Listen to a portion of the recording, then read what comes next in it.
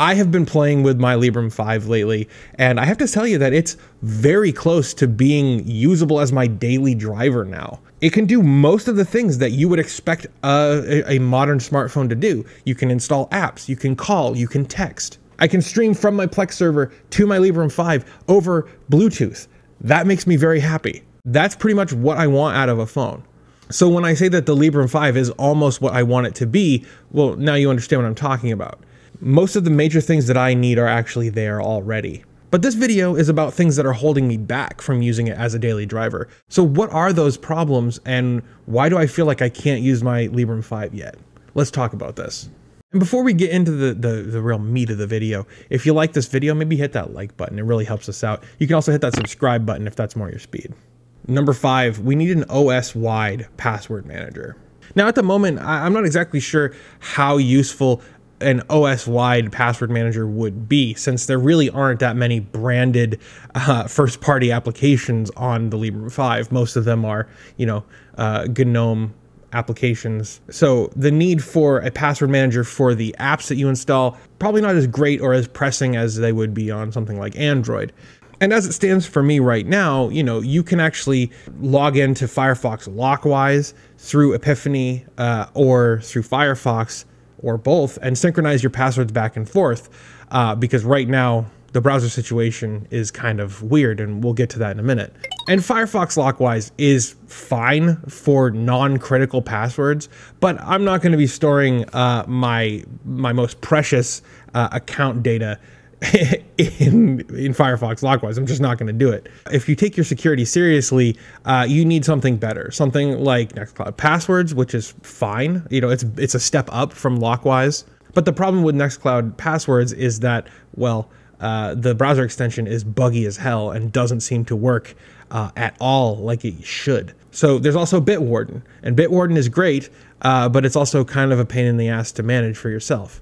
What I want is for a native password manager to be able to tie into something like Lockwise or Nextcloud Passwords or Bitwarden or all three of them, ideally, and to be able to suggest uh, usernames and passwords when uh, you go to log into an app or service.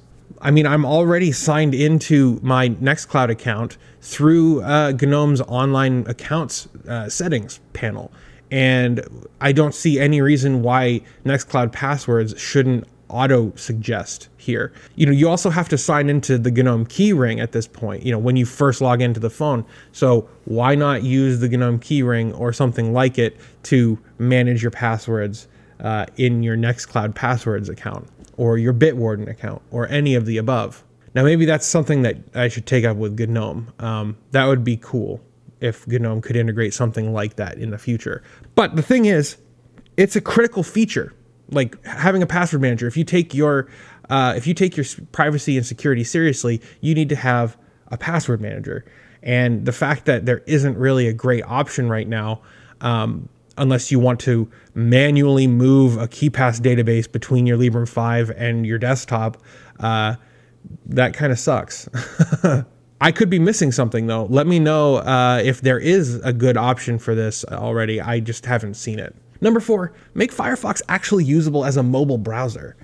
On my desktop, I spend most of my time in a web browser.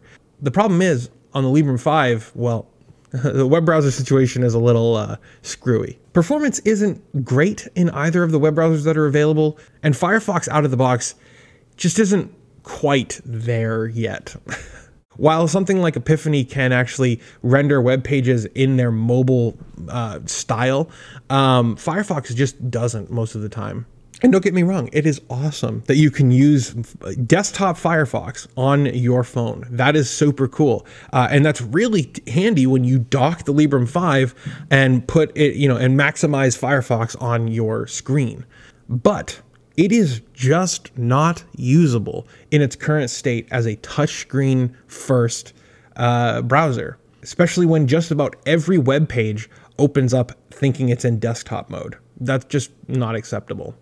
And the problem, the thing that kind of blows my mind about all of this is that Firefox, when you're in like the inspector tool, when you're debugging, Firefox really does have a great uh, touch simulation mode. Like, you, you know, it, it simulates being a mobile device really well. So why then is that not enabled here? Even if it means forking Firefox and, and enabling these kind of things and adding a few minor tweaks for the Librem 5, I am all for that. But it's not just like regular websites that are having issues. It's also the uh, the settings pages, the about pages in Firefox that don't show up properly here. The extension page, the settings page, the password page, they they all need to work on mobile, and right now they don't. Number three, we need more applications formatted for the phone's display as it stands right now, the Librem 5 really does have a great selection of apps. Um, you can go into you know the the PureOS store and it'll show you with a little badge if the app was going to work for your device without being in desktop mode. And that's pretty cool because that means you can load the app up onto your phone and you can launch it and use it with nothing but the touchscreen and the on-screen display. And that's really awesome. That's what you need from a phone. However, if the application doesn't have something like LibHandy uh, implemented, then you're going to have a bad time that's not to say that the app won't function. I mean, it definitely will. It's compiled for the device and it'll work. If you can install it on the Librem 5, it should function. But a lot of the GNOME uh, apps, GTK apps in general, are going to be formatted for a desktop. They expect to be used with a mouse and a keyboard uh, and be displayed on a screen with a minimum resolution of like 720p, for example. And while it is a killer feature to be able to dock your Librem 5 and run any desktop software, at least open source that's been compiled for the device, on it, that I mean, that's really cool, right? The problem is, a lot of the time, if you want to do something, uh, and you don't have the application formatted for your device, then you need to have a mouse and keyboard and screen and dock around. Um, and that kind of sucks.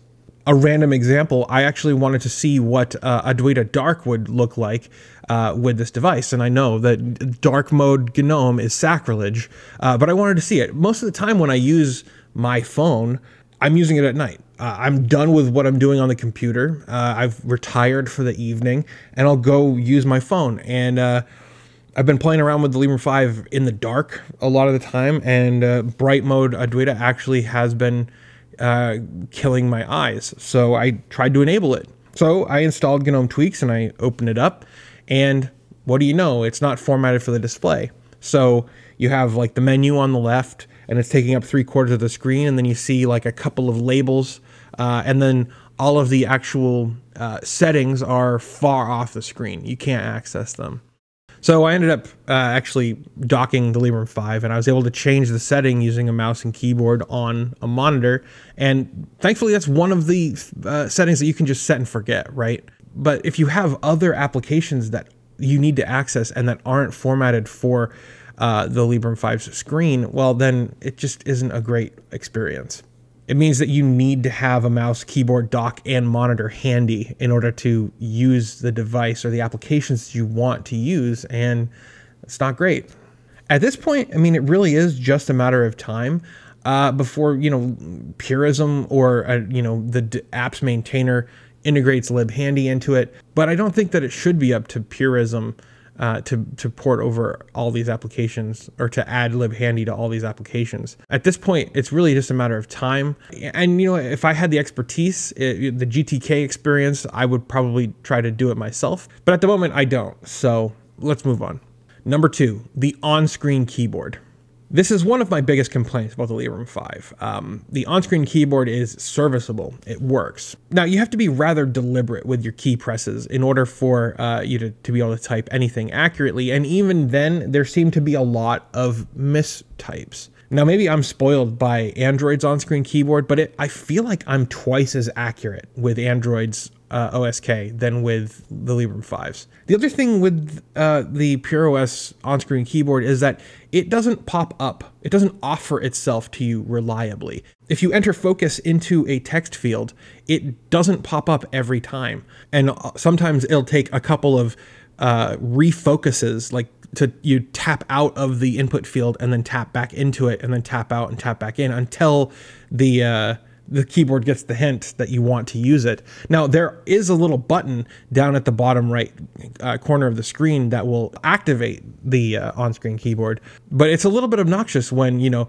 there's a, a modal dialog that pops up and it blocks your access to the button and you need to type something in, like, for example, a password. Uh, it gets a little obnoxious. But there is a feature that is missing, and I've talked about this before gesture typing. Gesture typing is incredible. I love gesture typing. I know that it's kind of niche, but like I can type on my phone with one hand, not looking at it, and I'm 100% accurate. I can just do do do I can just be over here. I could not look and just type something out, and it's fine. Like I can type one handed, not looking at the screen. Uh, gesture typing is incredibly important to me, and it's not here. I find myself using the Librem 5 uh, not even thinking about it and trying to gesture type, and it doesn't do anything because it's not implemented.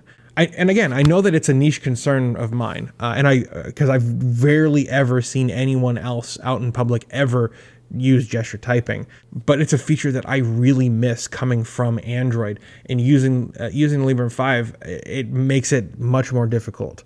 But it's not all criticism of the Librem 5 uh, on-screen keyboard. I love the mode switching that's available here. Being able to switch into terminal mode and having like the arrow keys, tab, and all of those other uh, awesome keys, the function keys. Oh boy, do I love that. That's so cool. Plus emojis. Uh, I love emojis. So yeah, that's pretty sick. Okay, number one. Number one. You ready for this? battery life. Battery life. I'm not going to sugarcoat it. There is no sugarcoating it. With the OS version that I'm currently running, uh, the Librem 5 lasts no more than four hours with the screen on. Uh, and that's generous. Maybe five or six with the screen off. Now, those are numbers with the modem and the Wi Fi and Bluetooth enabled. I haven't really tested it without uh, those things enabled. Here's the thing those are actually pretty good numbers compared to what it was when I got my hands on like the prototypes. When I met with Todd, uh, I saw the Librem 5 and I think the battery discharged in like an hour and 25 minutes. So things have significantly improved since then. But four hours with the screen on is still pretty bad. Unless I want to top the battery up every few hours, and I really don't, uh, it's basically unusable at, at, with four hours. I mean, even with with the screen off, five or six hours is pretty bad. And I'm not saying this as criticism, like you guys are doing a terrible job. They're doing a great job improving uh, the efficiency of the software and improving the battery life. Uh, and I have no doubt that within a couple of months or maybe a year, we'll see seven or maybe eight hours of battery life with this thing, which is closer to usable. But I would still want to see more when my current daily driver lasts 11, 12, 13 hours. I mean, I've been spoiled by Android. I mean, a lot of us have. Uh, but what I want to see is the Librem 5 be able to compete um, against something like an Android device. Well, that was a lot of criticism. Uh, and I criticize things that I love because I love the Librem 5. I think that it's awesome and I can't wait for it to be able to be used as my daily driver. I want to be able to take this device with me wherever I go and to use it to do the things that I expect to be able to do with my device until the problems here have been addressed, I don't really feel like I can, and that sucks. But they are moving forward and they are making progress. I, where they are now compared to where they were a couple of years ago is just incredible to have been able to personally witness. And uh, I love the Librem 5. Uh, I can't wait for uh, you know next year or so to see where they're at. But I'd like to know what you think. Do you have a Librem 5? Let me know down in the comments. Are you using it as your daily driver yet? I'm very curious to hear what you guys have to say about this. If you don't have a Librem 5, what's keeping you from jumping in? I, I would love to hear that as well. I think that's going to do it for this video. Thank you so much for watching. Uh, I appreciate you guys being here as always. Thank you to my patrons who make what I do possible. Uh, it's because of them and my YouTube members as well that I'm able to uh, make these videos for you guys. Uh, but I think that's going to do it. Thank you for watching, I'll see you guys in the next one. Have a blessed day.